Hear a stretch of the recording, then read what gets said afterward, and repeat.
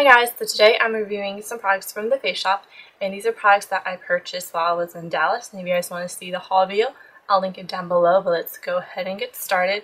So these are the products that I purchased that are makeup related and then these, well this, is the only skincare related product that I purchased. I'm going to review the BB cream first. So this is what the product looks like. The product itself um, I actually really like. Um, something about the packaging that I really, really like, other than that it's in a tube, is that they took some consideration into the cap. So, this is what it looks like. As you can see, the cap has a stopper, which um, joins in with the little end of the BB cream, which is really, really nice. I mean, it's a really small feature, but you notice that there's like not a gunk of BB cream stuck in here. So I'm glad they put packaging into consideration for this product. The product itself, it was $10. You can get it for less on eBay and it only comes in one shade. The shade is very light.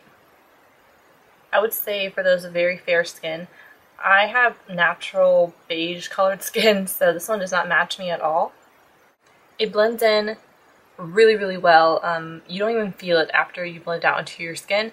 The coverage is very light to medium. I didn't build it up. I just know that when I applied this BB cream, it gave me like, it got rid of like the dullness on my complexion, but it didn't get rid of like my dark circles and things like that. Um, I can also see like little freckles on my face as well. Staying power is surprisingly pretty decent um, and it stayed matte all day.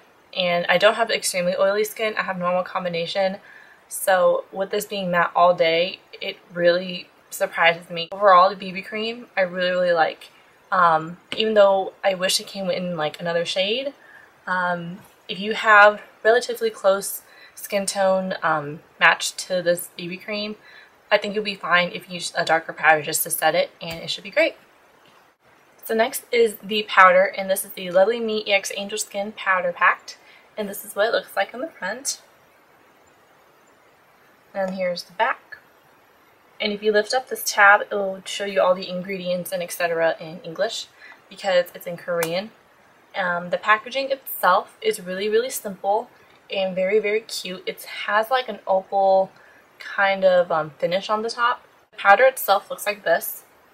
And I'm in the color NB35, which is more, I think it's like their second to the darkest shade that they have um, because I don't have very pale skin. I have very natural beige skin year round, so I never reached the level of paleness that I think most Asian girls do. Um, I guess in Korea, since in Korea or in Asia in general, like light skin is super popular, I'm just not one of those girls. The amount of product you get in this is not a lot compared to my Lancome powder, which I really, really like. Um, this one comes with 10 grams, 0.35 ounces, and this costs $12 compared to Lancome. This costs I think 35 and I'm in the color Matte Ecru number 2 and this one comes with 19 grams and 0.67 ounces. So what I like about this powder, this powder makes the BB cream last all day. It makes my face really matte.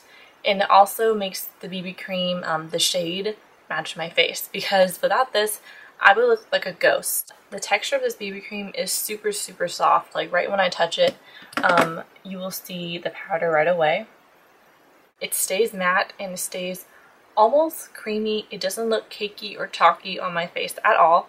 Any pros and cons? Um, I don't have a con for it really. I actually really like the powder. It's hard to explain why I like powders. um, I always tell like my friends like I like the finish or I like like the lasting ability of it.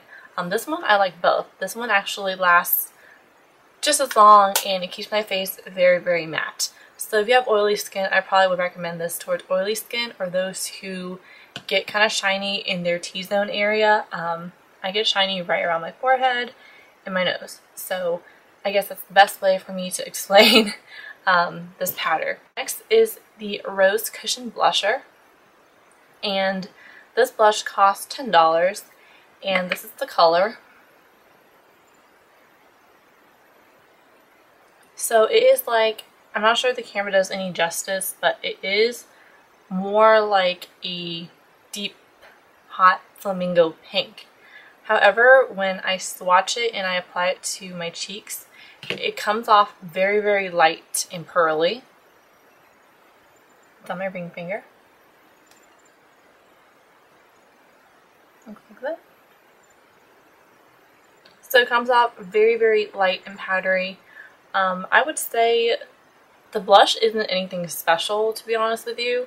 A blush is a blush, and I feel like I have a color very similar to this one. They're not exactly, you know, a match. Um, this is the e.l.f. Pink Passion Blush, and then this one is the um, the Face Shop one. I totally just blanked out, but this is what it looks like. This one's a bit more coral, and this one's just like pink.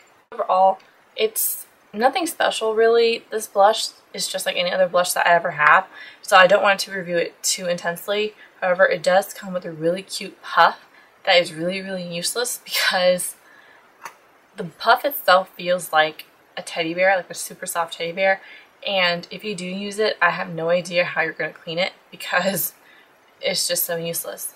So there's the blush. I know I'm not talk I'm not talking much about it just because it's just not important. Okay, so next and the last is this um, face wash. It's the Herb Day 365 Cleansing Foam in Peach. And you get relatively a good amount. This is only $6. I probably would have gotten a couple more because I actually really like this one. So this cleansing foam, I actually really needed a cleansing cream cleanser when I got home because the one that I took with me was like the last of it. And since this one was only $6 and it smelled surprisingly very, very good, um, I just gave it a shot. And I actually really do like this. Um, it is true to the cleansing foam name. It does foam up really, really nicely and you don't need a lot. I use way less than I thought I would um, when I was using this. Like I first used a lot and it was like super thick foam on my face.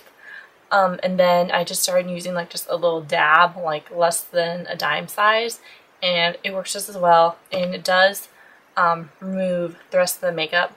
Um, like I have a routine that I use. I'll talk in a different video about like my skincare, but this is like my step two. When you rinse this off, the like your skin feels kind of rubbery. At the same time, it's very very clean. Like you don't, it doesn't have any residue or anything on your face. It just feels super super clean. It doesn't feel moisturizing or anything. It's just clean. Um, I probably would purchase this again because it is a really great step two for my skincare routine, which I'll talk about later that was my review for all the products. I'm sorry if I like rambled about random things. I'd rather and would prefer doing like a blog review just because the information's there even though it's just a little bit long. So give me some feedback and if you guys want me to review anything else let me know and I will see you soon. Bye.